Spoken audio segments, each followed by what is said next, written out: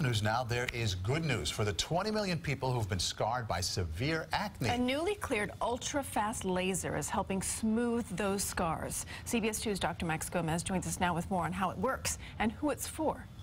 That's right, Christina Maurice. Acne scars have been the bane of sufferers and dermatologists for years.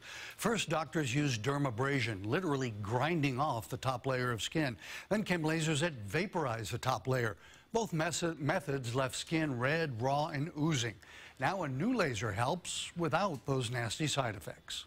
Years of acne left Greer Kurlander uncomfortable with her skin. It really bothered me a lot. I couldn't leave the house without tons of makeup on. She tried a number of treatments to fade her scars, but wasn't happy with the results.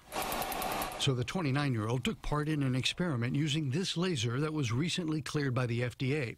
Dr. Jeremy Brauer conducted the study on PicoSure. We're delivering uh, laser energy to the skin in an attempt to improve texture and appearance. Acne causes inflammation that destroys some of the collagen in the skin. That's what causes the pits and scars.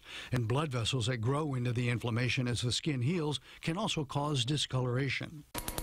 The PicoSure laser uses ultra-short pulses of light, just a trillionth of a second long.